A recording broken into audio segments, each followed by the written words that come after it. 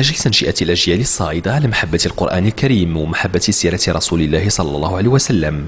يعمل مجلس العلم المحلي لإقليم رحامنا على قيادة هذه الفئات من البنين والبنات للسير وفق منهج حكيم ومتزن. يعتمد الحفظ والاستظهار للقرآن الكريم والسيرة النبوية العطرة والإبداع في التعبير عما تم استظهاره بواسطة الطرق الفنية كالتعبير المسرحي والإنشادي. واليوم يقيم هذه هذا الملتقى الثاني وهو موجه إلى الطفولة والشباب.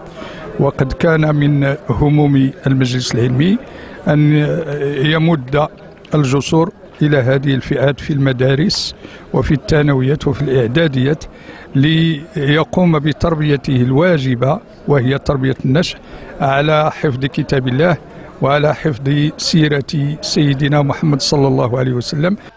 أما مخطط المجلس العلمي المحلي لرحامنا فيهدف الانفتاح على محيطه التربوي والتعليمي والاجتماعي وإدماج فئات الأطفال والشباب في الشأن الديني وتنشئتهم على تعاليم الإسلام وتفعيل دورهم الإيجابي في بناء المجتمع.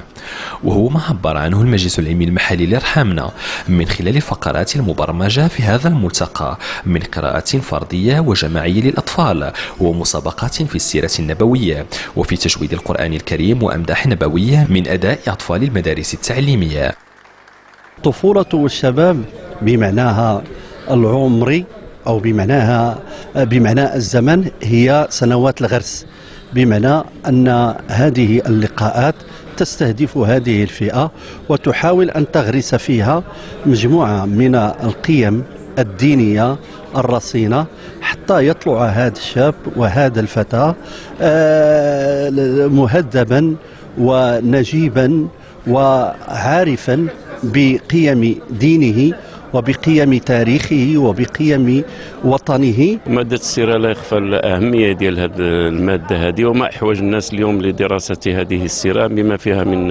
أخلاق وما تعلمه من قيم إنسانية ما تحتوي عليه من التسامح ودعوة إلى السلم وإلى التجانس وإلى التفاهم بين الناس والتآزر بينهم بصرف النظر عن معتقداتهم وديانتهم ومشاربهم وأفكارهم. الناس سواسيه فعليهم أن يتعاونوا وهذا ما نحتاج إليه في هذا الوقت الحاضر. يختتم الملتقى الثاني القرآن الكريم والسيرة النبوية لإقليم رحمنا بتكريم العديد من القيمين الدينيين والأطفال المتفوقين في المسابقات وفي التجويد وفي السيرة النبوية. في إطار انفتاحه على محيطه وبمناسبة عيد الأم نظم المجلس العلمي المحلي لمراكش محاضرة بعنوان الأمومة وإكراهات العصر وذلك تحت شعار الأم مدرسة إذا أعددتها أعددت شعبا طيب الأعراق وذلك بمقر المجلس. المحاضرة حضرها الزميل يوسف المالكي رفقة خالد قزولي.